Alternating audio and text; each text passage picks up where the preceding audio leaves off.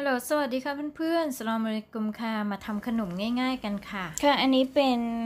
ถั่วที่เหลือจากทำขนมวันนั้นเนาะ ขนมง่าย ๆ ก็มีน้ำกะทิ น้ำตาลค่ะ อันนี้กลิ่นใบเตย กลิ่นใบเตยซื้อมานานมากแล้วค่ะ ค่ะ อันนี้เป็นแป้งข้าวโพดค่ะ เราเราละลายน้ำค่ะ นี่พอมาถึงตรงนี้เราก็จะรู้แล้วว่าเราจะทำอะไรใช่ไหมโอเค ค่ะเราต้มน้ำให้เดือดเนาะค่ะพอน้ำเดือดเราก็ใส่น้ำตาลลงไปเนาะมากน้อยหวานอะไรนี่ก็แล้วแต่เราเลยค่ะ ค่ะเราใส่กลิ่นใบเตยลงไปเนาะจะได้หอมๆใบเตยสดเราไม่มีเนาะเราใช้กลิ่นแทน ค่ะพอน้ำเดือดเนาะเราก็จะใส่ถั่วลงไปค่ะ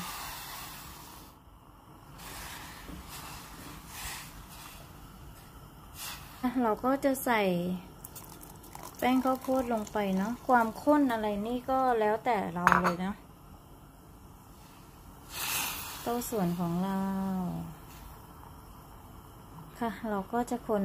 เบาๆให้แป้งสุกค่ะ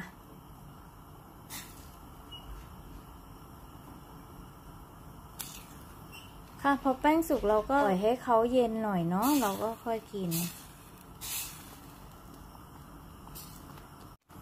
ค่ะ ความข้นความหนืดเนาะของเราเราจะเอาประมาณนี้ค่ะเนี่ยเสร็จเรียบร้อยค่ะ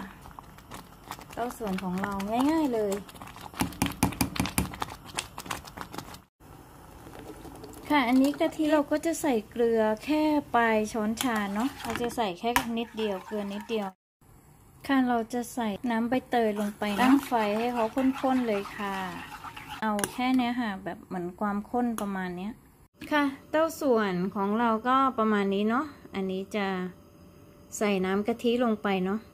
กะทิเยอะๆเลยชอบ ว้าว เป็นไงแล้ว ค่ะ อันนี้เราก็จะเสิร์ฟเนาะ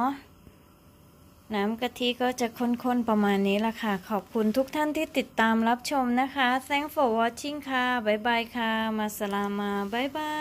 ย